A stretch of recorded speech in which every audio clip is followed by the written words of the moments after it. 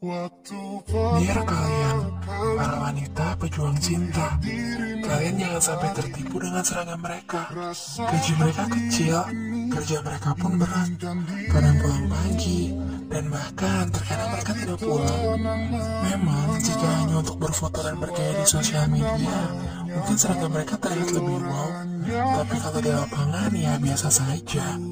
Kalian jangan sampai tergoda. Mungkin nanti kalian akan tidur larut malam untuk menyiapkan seragam mereka. Dan mungkin kalian akan bangun jauh lebih pagi untuk menyiapkan seragam mereka. Kalian yakin? Apa kalian sudah siap? Mungkin kalian adalah anak gadis kesayangan ayah kalian. Tapi jika dengan mereka, kalian akan berlutut menggunakan sepatu mereka yang bau dan kotor. Tapi kalian tak usah khawatir, sebab jika kalian ikhlas dan sabar mendampingi mereka, cinta dan kesetiaan yang akan mereka berikan